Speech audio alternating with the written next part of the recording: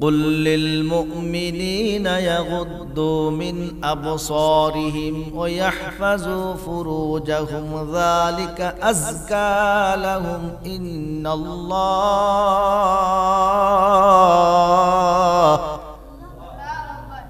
إن الله خبير بما يصنعون আল্লাহ রাব্বুল আলামিন বলেন নবী হে দুনিয়ার মানুষদেরকে আপনি বলে দিন। দুনিয়ার পুরুষদেরকে আপনি প্রথমে বলে দিন, নারী পুরুষ সকলের উপরই পর্দা করা ফরজ। প্রথমে পুরুষদের কথা বলা হয়েছে। হে নবী, আপনি দুনিয়ার মোমেন পুরুষদেরকে বলে দিন মিন আবসারিহিম, ইয়াগুদ্দু অবনত রাখে বা রাখবে। এখানে আরবিতে দুইটা গামার মাঝি মুজারে দুইটা কালের অর্থ নিছে। ইংরেজিতে বলা হয় প্রেজেন্ট ফিউচার দুইটা কাল। ইয়াগুদ্দু অবনত রাখে বা রাখবে, বর্তমান ভবিষ্যৎ। হে নবী, আপনি বলেন ইয়াগুদ্দু মিন আবসারিহিম। হে নবী, আপনি দুনিয়ার মোমেন পুরুষদেরকে বলে দিন, তারা যেন তাদের চক্ষুকে অবনত রাখে, অর্থাৎ নিম্নগামী করে রাখে। ওয়াহফাজু ফুরুজাহুম, আর তাদের লজ্জাস্থান সমূহের হেফাজত করে। তাদের লজ্জাস্থান সমূহের হেফাজত করে। জালিকা আজকালাহুম, যদি এটি করে, চোখের নিম্নগামী আর লজ্জাস্থানে হেফাজত করে। জালিক আজকালাহুম নবী গো আপনি বলে দিন, যদি তারা এই দুটোটা কাজ করে, তাহলে তারা তারা আল্লাহ তালার কাছে বড় পুত পবিত্র হবে, এটা উত্তম কাজ হবে। যদি তারা তাদের চক্ষুকে অবনত রাখে, লজ্জা স্থানে হেফাজত করে, তাহলে তারা আল্লাহর কাছে বড় দামি হবে, মর্যাদাবান হবে, তারা পুত পবিত্র হতে পারবে। তারা গোপনে প্রকাশ্যে যা কিছু করে, সকল কিছুর খবর রাখেন কি? গোপনও যদি আমরা গুনাহ করি, সেটা কে জানে? আল্লাহ। এবার আল্লাহ সূরা নূরের 31 নম্বর আয়াতে আবার বলেন وقل للمؤمنات يغضضن من أبصارهن ويحفظن فروجهن ولا يبدين زينتهن إلا ما ظهر ولا يضربن بأرجلهن ليعلم ما يخفين من زينتهن. وتوبوا إلى الله جميعا.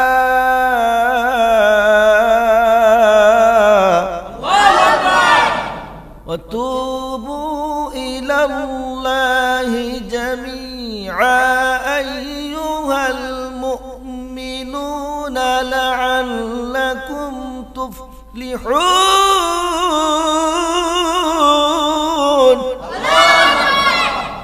আল্লাহ রাব্বুল আলামিন কত সুন্দর করে বলেন, নবী হে, দুনিয়ার মুমিনা নারীদেরকে বলে দিন, তারাও যেন তাদের চক্ষুকে নিম্নগামী করে রাখে, চক্ষুকে অবনত রাখে, তাদের লজ্জাস্থান সমূহের হেফাজত করে, তাদের সাজসজ্জার সৌন্দর্যকে প্রকাশ না করে, তার সৌন্দর্য দেখার মালিক একমাত্র তার স্বামী, ঠিক কিনা বলেন?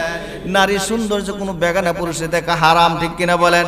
কোনো বেগানা পুরুষে দেখা দেওয়া কি? হারাম। আপনার বিবি কি আমার সাথে দেখা দিতে পারবে নাকি? আমার বিবি আপনার সাথে দেখা দিতে পারবে নাকি? পারবে না, হারাম। আল্লাহ বলে, ও নবী, দুনিয়া মোমেন নারীদেরকে বলে দিন, তারা যেন তাদের সৌন্দর্যকে প্রকাশ না করে, সাজসজ্জাকে প্রকাশ না করে, আর তারা যখন জমিনে হাঁটবে, তারা যেন আস্তে করে জমিনে পা রাখে, যাতে করে তাদের লজ্জাস্থান প্রকাশ না পায়। জমিনে যখন তারা হাঁটে তারা যেন আস্তে করে জমিনে পা রাখে যেন তাদের লজ্জাস্থান প্রকাশ না পায়। দুঃখের বিষয় এখন মহিলারা লজ্জাস্থান প্রকাশ করে না গোপন করে। প্রকাশ করে ঠিক কিনা বলেন? এমন বড় বড় জুতা পরে সামনাটা একদম নিচু পেছনে দিয়ে অনেক উঁচা যেটার কারণে ঠক ঠক করে আওয়াজ হয়। আওয়াজ হইলে পরে একটা পুরুষ মাথা ডালকি দিয়ে চায় কোন নারীটা যায় ঠিক কিনা বলেন। আল্লাহ বলতেছে ও নারীরা জমিনে যখন হাঁটবা সাবধান জমিনে যখন হাঁটবা আস্তে করে জমিনে পা রাখো আস্তে করে পা রাখো যাতে করে তোমার লজ্জাস্থান প্রকাশ না পায়। আস্তে করে পা রাখার জন্য সৌন্দর্য তোমার প্রকাশ না পায়, দুঃখ লাগে। আমাদের মা বোনেরা এখন লজ্জাস্থান বেশি বেশি করে প্রকাশ করে, ঠিক কিনা বলো? বেশি বেশি করে প্রকাশ করে আল্লাহ বলতেছে, কিন্তু এটা নেগেটিভ আমরা করতেছি। আল্লাহ বলে, ও নারী সম্প্রদায়, পুরুষ সম্প্রদায়, যারা গুণা করেছ, এখনও সময় আছে, তোমরা সকলে মিলে তওবা করো, ফিরে আসো। তোমরা যদি তওবা করো তোমরা যদি খাঁটিভাবে তওবা করো, আর গুনাহ থেকে যদি তোমরা ফিরে আসো, তোমরা কামিয়াবি হয়ে যাবা। দুনিয়া এবং আখেরাত তোমরা কামিয়াবি হয়ে যাবা। তোমরা আল্লাহর প্রিয় গোলাম হয়ে যাবা। আল্লাহু আকবার! পর্দার কথা কোরআনে আসেনি। অসংখ্য দলিল অসংখ্য দলিল। শুধু পর্দার বয়ান, কোরআন, হাদিস দিয়ে করতে গেলে কমপক্ষে তিন ঘণ্টা সময়ের দরকার। আল্লাহ রাব্বুল আলামিন কোরআনুল কারীমের সূরা নূরের 27 নম্বর আয়াতে বলেন, ইয়া আইয়ুহাল্লাযীনা আমানু লা তাদখুলু বুয়ুতান গায়রা বুয়ুতিকুম হাত্তা তাস্তানিসু ওয়া তুসাল্লিমু আলা আহলিহা।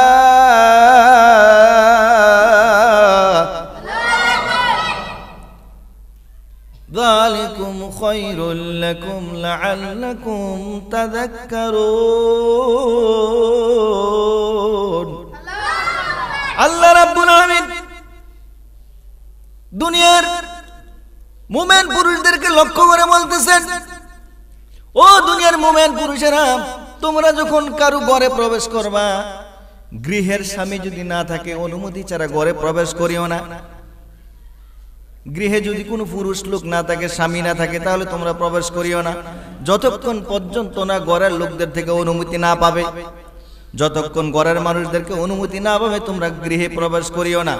আর যখনই অনুমতি পাবে, তখনই তোমরা সকলে সালাম দিয়ে ঘরে প্রবেশ করবা।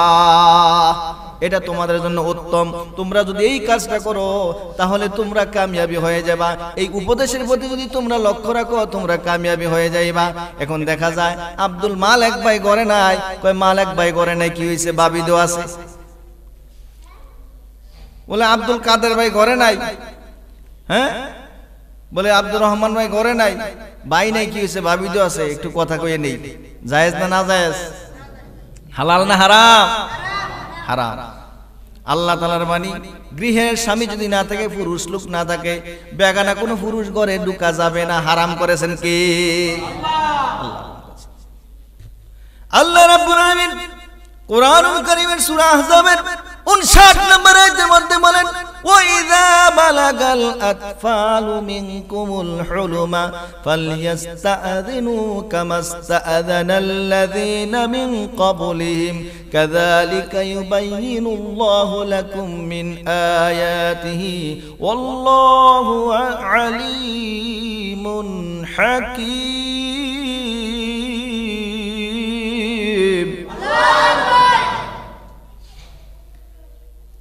শুধু বেগানা পুরুষ কেন? ছেলে মেয়েরা যখন বালেক হয়, ছেলে মেয়েরা যখন বালেক হয়, বাপ আর মেয়ের ভিতরও পর্দা করতে হয়। ছেলে মেয়েরা যখন বালেক হয়, ভাই আর বোনের ভিতরও পর্দা করতে হয়। ছেলে মেয়েরা যখন বালেক হয়, মা আর সন্তানও পর্দা করতে হয়। এটা আমার কথা না, কোরআন তার দলিল। ছেলে উপযুক্ত বালেক হয়ে গেছে যুবক, তখন কি ওই ছেলে মার সাথে থাকতে পারবে? ভাই উপযুক্ত তখন কি তার বড় বোনের সাথে থাকতে পারবে নাকি? থাকা যাবে না। আল্লাহর মানে আমার মুখের কথা না। আল্লাহ বলেন ওইদা বালাগালাত মিনকুম হুলুমা। তোমাদের ছেলে মেয়েরা যখন বুদ্ধির পরিপক্ক পর্যন্ত পৌঁছবে, তোমাদের ছেলে মেয়েরা যখন বালেগ হবে, তখন তারাও যখন ঘরে ঢুকে, তখন তারাও যেন ঘরে ঢুকার সময় অনুমতি নিয়ে ঘরে ঢুকে। যেমনি ভাবে তাদের বড়রা অনুমতি গড়ে ঢুকে। আর আল্লাহ রাব্বুল আলামিন আয়াতের মাধ্যমে তোমাদেরকে উন্মুক্ত করে দিয়েছেন, প্রকাশ করে দিয়েছেন। এই আয়াত দ্বারা তোমরা বুঝে নাও, আল্লাহ তাআলা জ্ঞানী এবং বিজ্ঞানময় হিকমতওয়ালা, ঠিক কিনা বলো? বলে, মার সাথে কীভাবে পর্দা করবে? মা একটা রুমে আছে, মার মাথার কাপড় না থাকতে পারে, বুকের কাপড়টা নাও থাকতে পারে। বড় বোন রুমে আছে মাথায় কাপড়টা নাও থাকতে পারে, বুকের কাপড়টা নাও থাকতে পারে। ইন দি মিন টাইম যদি তার ভাই আসে, সালামটা না দেয়, অনুমতি না নেয়, হঠাৎ করে তার বুকের লজ্জাস্থান প্রকাশও থাকতে পারে, মার বুকের লজ্জাস্থানটা প্রকাশও থাকতে পারে। এই জন্য বলছে, ছেলে মেয়েরা যখন উপযুক্ত হয়, মা আর ছেলেও পর্দা করতে হবে, ঠিক কিনা বলে? বড় বাইরেও পর্দা করতে হবে। যখন উপযুক্ত হয়ে যাবে, এই নামাজ পড়ার মতো পর্দা করা কি? ফরজ। নামাজ পড়ার মতো পর্দা করা ফরজে আইন। ফরজে আইন।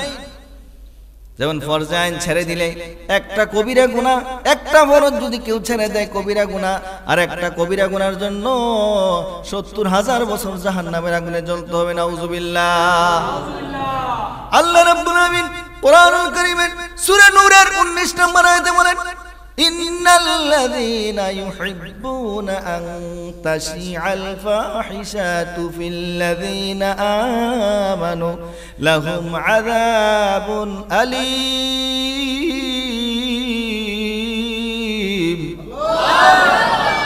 والله عليم في الدنيا والآخرة والله يعلم وأنتم لا تعلمون আল্লাহ রাব্বুল আলামিন বলেন নিশ্চয়ই যারা ঈমান আনার পর নিশ্চয়ই যারা ঈমান আনার পর ঈমান আনার পরে যারা লজ্জাহীনতা কাজকে শরীয়ত বিরোধী কাজকে, খারাপ কাজকে যারা ভালোবাসে, পছন্দ করে। ইমান আনার পরেও যারা খারাপ কাজটাকে তারা পছন্দ করে আর এটা প্রকাশ করে। তাদের জন্য দুনিয়া এবং আখেরাতে আল্লাহ তালা কঠিন শাস্তির ব্যবস্থা রেখেছেন। নাউজুবিল্লাহ। আবার প্রশ্ন করতে পারেন, হুজুর, লজ্জার জিনিস কিমনে প্রকাশ করে? হায় রে, দিনের বুঝ না থাকলে এমনই করে। যেমন ঘরের ভিতরে লজ্জা প্রকাশ করে। মা একদিক দিয়ে, মেয়ে একদিক দিকে ছেলে একদিক দিয়ে, বাবা একদিক দিয়ে, সবাই বসে টিভিতে নাচ গান দেখতেছে না উজুবিল্লাহ লজ্জাটা প্রকাশ হইতেছে না? ছেলে আর মায়ের মধ্যে সেই শরমটা থাকবে নি। মা আর মেয়ের মধ্যে সেই শরমটা থাকবে না। স্বামী আর স্ত্রীর ভিতরে সেই শরমটা থাকবে না। আল্লাহ রাব্বুল আলামিন বলেন মানুষ বড় মায়া করে বানাইলাম। তোমার কারণে তুমি তুমি বাবা হয় তোমার কারণে তোমার ছেলে কুচরিত্র হয় তুমি মার কারণে তোমার মেয়ে কুচরিত্র হয় বাবার কারণে ছেলে নষ্ট হয় সাবধান। দুনিয়া এবং আখেরাতে তোমার জন্য কঠিন শাস্তির ব্যবস্থা আল্লাহ তাআলা রেখেছেন ঠিক কিনা বলে স্কুলেও দেখা যায় দিনের জ্ঞান না থাকার কারণে স্যারেরা সামনে বসে থাকে, যেমন খুশি তেমন সাজো। খেলা আসলে উপযুক্ত মেয়েরা স্যারেদের সামনে নাচ গান করে ড্যান্স দেয়, নাউজুবিল্লাহ। হয় না? স্কুলে দেয় না? দিনের বুঝ না থাকার কারণে উপযুক্ত মেয়েরা নাইন টেনে পরে উপযুক্ত মেয়েরা সারেদের সামনে এই কি নাচ গান করে, নাউজুবিল্লাহ। এই স্যারের সামনে তো দেখা দেওয়া জায়েজ নাই, বিলকুল হারাম, ঠিক কিনা বলে আর সেই সার নাচ শিখা নাচ শিখায় দেশে শান্তি কীভাবে আসবে? গজব এই জন্য তো আসতেছে, ঠিক কিনা বলেন? আজকে সারা বিশ্ব ধ্বংস ক্ষতি, মানুষ ধ্বংস হচ্ছে। একমাত্র বেপর্দা বেহাইয়ার খানার কারণে, ঠিক কিনা বলেন? বেপর্দা বেহাইয়া মারার কারণে গজব আসতেছে, দিন দিন গজব বাড়তেছে। কেন এত গজব আসে? তারপরও মানুষ তারপরও মানুষ ভয় করে না তারপরে মানুষ পর্দা করে না। জিনা, বেবিচার, মদ, জুয়া, গাঁজা, নেশা এইগুলো নিয়ে মানুষ পাগল, ঠিক কিনা বলে কিন্তু, ও আমার প্রিয় ভাইরা, আমার আশেখ রাসুল ভাইরা, নবী প্রেমিক, ওলে প্রেমিক ভাইরা, অন্তরের কান লাগে শুনেন। ও আমার মা বোনেরা, অন্তরের কান লাগে শুনেন। নারী পুরুষ সকলের জন্য ফর্দা করা ফরজ। কিতাবের ভিতরে একটা ঘটনা আসছে। মাথায় যদি কাপড় না দেয়, কত কঠিন শাস্তি হয়। কিতাব তার প্রমাণ করে, যেই নারী চুল দেখায় হাঁটে চুলগুলো এলোমুলে করে হাঁটে। একটা চুল সত্তরটা সাপ হইয়া তাকে কবরে দংশন করবে। একটা চুল কয়টা সাপ হবে? সত্তরটা। কিতাব সাক্ষী দেয় একজন মহিলা। নেককার নারী তার ছেলে অসুস্থ। ছেলের অসুখ ভালো হয় না বলে আল্লাহ, আমার ছেলে যদি অসুখ ভালো হয়ে যায়, আমি মান্নত করলাম, সাত দিন রোজা রাখব। ও আল্লাহ, গভীর রাত পর্যন্ত আমি তোমার কাছে কানবো। ও আল্লাহ, আমার সন্তানের বিমার তুমি ভালো করে দাও। ইন দি মিন টাইম ছয় দিনের মাথায় প্রত্যেক দিন গভীর রাত্রে কান্না করে কান্না করে। হঠাৎ করে একদিন গভীর রাত তাহাজ্জুদের সময় কান্না করতেছে। হঠাৎ করে চোখে একটু গোম আসলো। ঘুম আসার পরে হঠাৎ করে চোখে একটু গোম আসছে। গোম আসার পরে হঠাৎ করে মহিলাটা দেখে ডান দিকে একটা তার রাস্তা, বাম দিকে একটা তার রাস্তা। একজন লোক বলে, আসে, আসো, ডানের রাস্তাটা দিয়ে তোমাকে নিয়ে যায় ডান দিকে রাস্তাটা দিয়ে যাইতে যাইতে দেখে এত সুন্দর দুনিয়া, এত সুন্দর বেহেস্তার বাগান, শস্য শ্যামলা। বলতেছে, ও আমার ভাই, ও আমার বোন, আমাকে কোথায় নিয়ে আসলেন? বলে, এইটা যারা আল্লাহর হুকুম রসুলের তরিকা চলবে, জান্নাতের নমুনা তোমাকে একটু দেখাইলাম সুবাহান আল্লাহ যেই নারীরা পর্দা পশিদা চলবে, স্বামীর খেদমত করবে, বেপর্দা বেহেপানা চলবে না, আল্লাহরই সুন্দর জান্নাত তাকে দান করবে সুবহান আল্লাহ এবার বাম দিকের রাস্তাটা দিয়ে নিয়ে গেলেন, বাম দিকের রাস্তাটা দিয়ে নিতে নিতে সামনে গেলেন, যাইয়া দেখে হঠাৎ করে একটা মহিলা মাথার উপরে আগুনের কাক, আগুনের শুকুনি, আগুনের কাক, আগুনের শুকুনি, তার মজকগুলি ঠুকরে টুকরে খাইতেছে। সমস্ত শরীরে যদি কাউকে আঘাত করে, এত ব্যথা পায় না। মাতার মজক বরাবর যদি দুইটা আঘাত করে, মানুষ মারা যায়, ঠিক কিনা বলে? শরীরে অনেক আঘাত হইল মানুষ বাঁচে, কিন্তু মাথার মজক বরাবর একটা আঘাত দিলে? শেষ না? দেখতেছে একটা মহিলা তার মাথার মজক আগুনের কাক আগুনের শুকুনি মাথার মজক গুলি খাইতেছে। আর মহিলাটা গলা কাটা মুরগির মতো ছটপট ছটপট করে কানতে আছে। মা মা মা করে কান্দে, বাছা বাছা বলে কানতেছে। সহ্য হয় না, মহিলাটা দেখে বলে, ও আমার বন্ধু আপনার এত কঠিন শাস্তি কেন? আপনি কি দুনিয়াতে নামাজ পড়েন নাই, রোজা রাখেন নাই? বলে হ্যাঁ হ্যাঁ আমি নামাজও করেছি, রোজাও রেখেছি, কিন্তু আমার একটা ব্যাড হ্যাবিট ছিল, একটা খারাপ অভ্যাস ছিল বলে সেটা কি বলে, দুনিয়ার ভিতরে আমি নামাজ কালাম সব পড়তাম। আমি মাথার ভিতরে কাপড় দিতাম না। এরকম অনেক নারীরা আছে, মাথায় কাপড় দেয় না। আছে না? রাস্তাঘাটে বাড়িতে দেখা যায়, মাথায় কাপড় দেয় না। বলে, আমার একটা ব্যাড হ্যাবিট ছিল, আমি মাথায় কাপড় দিতাম না। যত বেগানা পুরুষ আমাকে দেখছে, এই শাস্তি শুরু আল্লাহ তাআলা এই জাহান্নামের নমুনা, আমার এই কঠিন শাস্তি, আগুনের কাক, আগুনের শুকুনি আমার মাথার মজুকগুলি টুকরে টুকরে খাইতেছে। আর মহিলাটা গলা কাটা মুরগির মতো কান আর সহ্য করতে পারে না। মহিলাটা বলে, আল্লাহ, ও আল্লাহ আমারে তুমি জবাই করে দাও, একবারে শেষ করে দাও, আল্লাহ। আমি তোমার সহ্য করতে পারি না। মাথা কাপড় না দেওয়ার কারণে এই বর্তমান যুগে এখন মহিলারা মাথা কাপড় দেয়নি, অনেকে দেয় না। অনেকে কি করে? মহিলাদের সৌন্দর্য আল্লাহ চুল দিছে বড়। অনেকে চুলগুলি কেটে কেটে ছোট করে ফেলে। করে নেই? অনেকে আবার ব্রো তুলে পেরে হারাম। এগুলি সৌন্দর্য দিছে আল্লাহ তালা জানে মহিলাদের চুল বড় হইলে সুন্দর। মহিলাদের চুল বড় হলে, চুল বড় হলে সুন্দর। ব্রু থাকলে সুন্দর। যেই মহিলারা চুলগুলি কেটে পেলে চুলগুলি কেটে পেলে ব্রু তুলে পেলে এগুলি নিষেধ, হারাম। অনেক মহিলারা আছে, চুলগুলি কেটে কেটে ছোট করে, সামনে দিক দিয়ে এভাবে রাখে। আসেনি? সাবধান। এবার মহিলাটা আরেকটু সামনে গেলেন, আরেকটু সামনে যেয়ে দেখে আরেকজন মহিলা বুকুর উপরে দুইটা অজগর সাপ, দুইটা বিষাক্ত বড় বড় অজগর সাপ ঠুকরে টুকরে তার কলিজাটা ছিঁড়ে ছিঁড়ে খাইতেছে। কাটা সারা যদি বুকের ভিতরে কলিজা ছিঁড়ে ছিঁড়ে খায়, কত কষ্ট। এই মহিলাটা গলা কাটা মুরগির মতো ছটপট ছটপট করে কানতে আসে আয় আল্লাহ, মাবুদ গো! আর সইতে পারি না গো আল্লাহ, মাবুদ। আমারে তুমি একবারে জবাই করে দাও। এই বিষাক্ত সাপগুলি আমার কলিজা চিনি চিনি খায় গো, আল্লাহ সহ্য করতে পারে না। মহিলাটার সামনে যে কয়, মা গো, মা। ও মা গো, মা। মা গো আপনি কি নামাজ পড়েন নাই গো, আমার রোজা রাখেন নাই? বলে হ্যাঁ আমি নামাজ কালাম সবে পড়েছি, আমার একটা ব্যাড হ্যাবিট ছিল, একটা বদ অভ্যাস ছিল, বলে, কি? বলে, দুনিয়াতে যখন আমি রাস্তাঘাটে চলাচল করতাম, আমি বুকের উপরে মোটা কাপড় দিয়ে বুকটা ডাকতাম না। এখন তো ডিজিটাল অনেকে বুকে কাপড় দিতে চায় না। আসেনি? বুকে কাপড় দেয় না। আল্লাহ রাব্বুল আলামিন এই বুকে কাপড় দেওয়ার জন্য নির্দেশ করেছেন কোরআনুল করিমে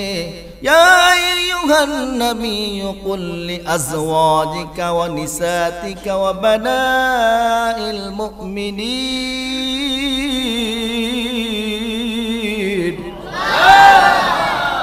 يدنين عليهن من جلابيبهن ذلك أدنى أن يعرفن فلا يؤذين وكان الله غفورا رحيما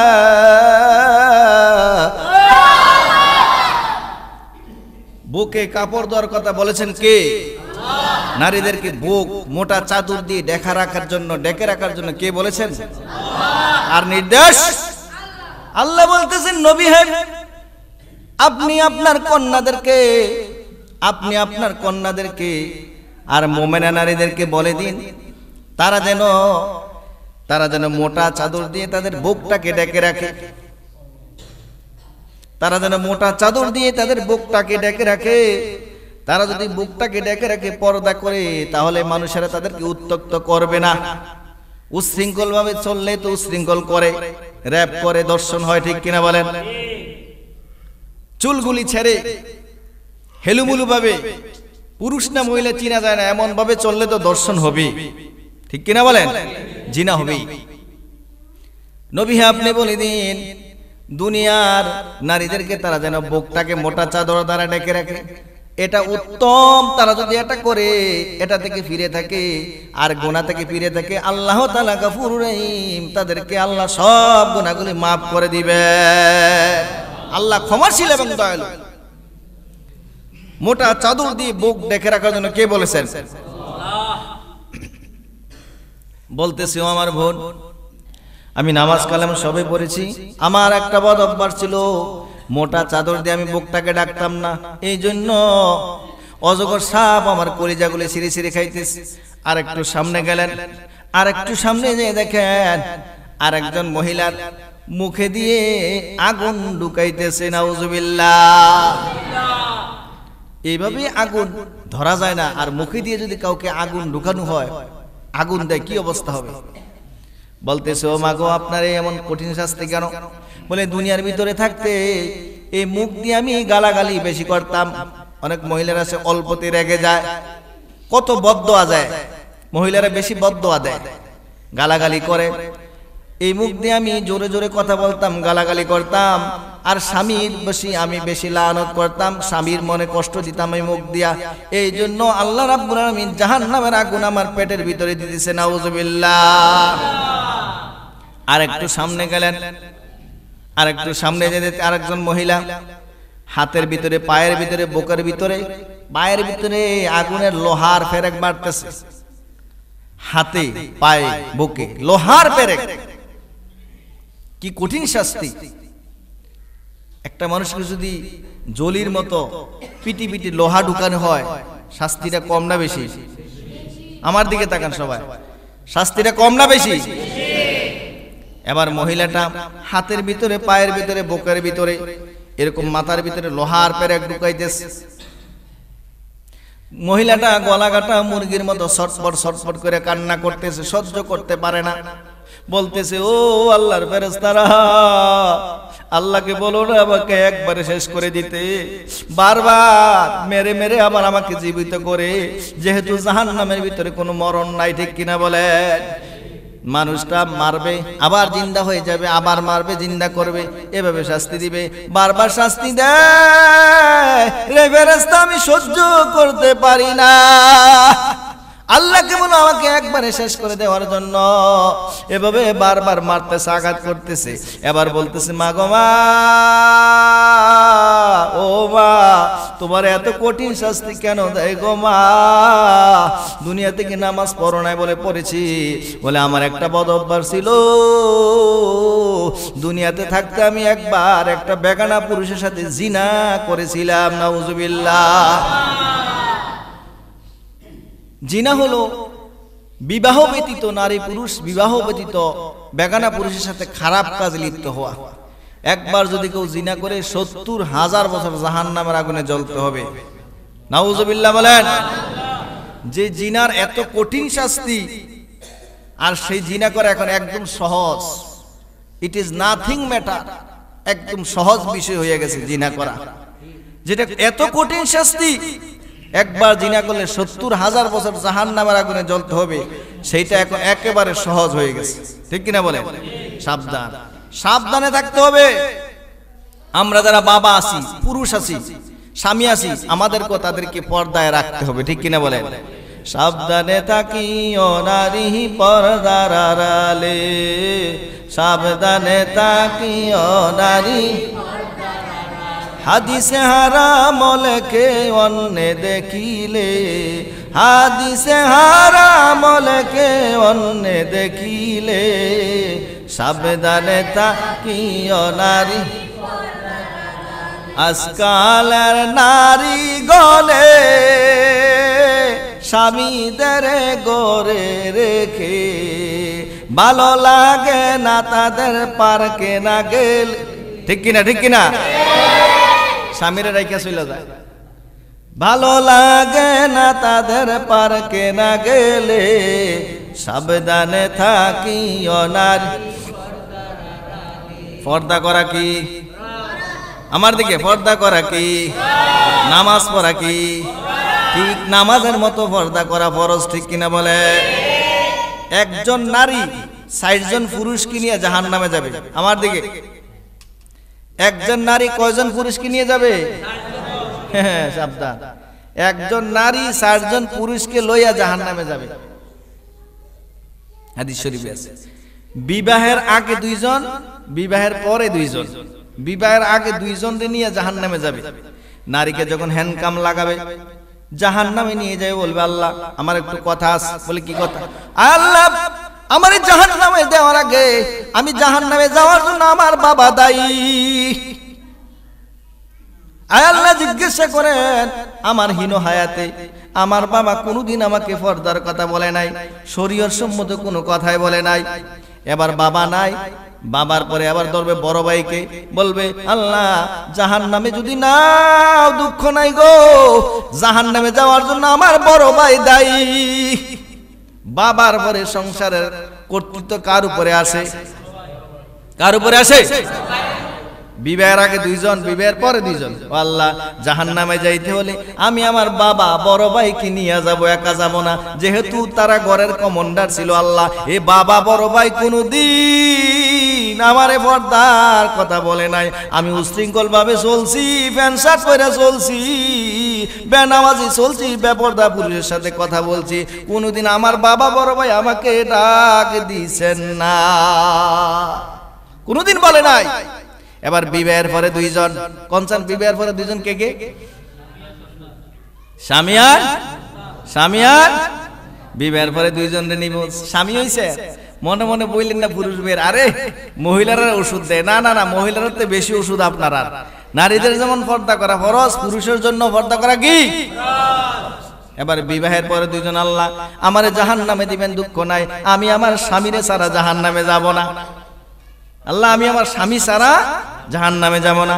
বলে, স্বামী নাই। বলে, আমার বড় ছেলে ছাড়া জাহান নামে যাব না। আল্লাহ, আমি যখন কবুল করে আসছি, এই স্বামী আমারে যেভাবে চালাইছি, সেভাবে চালাইছি। স্বামী তো আমার কোনোদিন শরীর সম্মত কোনো কথা বলে নাই, নামাজ পড়ার জন্য বলে নাই, পর্দা করার জন্য বলে নাই। আমার স্বামী নাই, আমার বড় ছেলে ছিল। এই ছেলে কোনোদিন আমাকে বলে নাই আল্লাহ, আমি আমার স্বামীরে ছাড়া, বড় ছেলেরে ছাড়া আমি জাহান নামে যাব না। একজন নারী কয়জন পুরুষ লইয়া জাহান নামে যাবে? কয়জন? কত কথা পর্দা সম্পর্কে। সব কোরআন দিয়ে তো বয়ান করলাম, হাদিস তো রয়ে গেছে, সিয়াসিত্তার হাদিস। বিশ্ববিখ্যাত মুসলিম শরীফ, তিরমিজি শরীফের হাদিস। এই পর্দার বয়ান যদি তিন ঘণ্টা করি শেষ করা যাবে না। তো আমাদের জন্য সকলের কর্তব্য, আমাদের ঘরের সবাইকে পর্দার কথা বলা, ঠিক কিনা বলেন? আজকে নামাজের পরে যাইয়া কে কে বিবিরে সালাম দিবেন? দেই, একটু হাত তোলেন তো দেই। আমার এনে থাকলে আমি দিয়ে লাইতাম। আমি আগে সালাম দেই বিবিরে। দিবেন নেই? আমারটা দেয় আমি কেমনে দেন? কারা কারা দিবেন? একটু হাত তোলেন। নারায়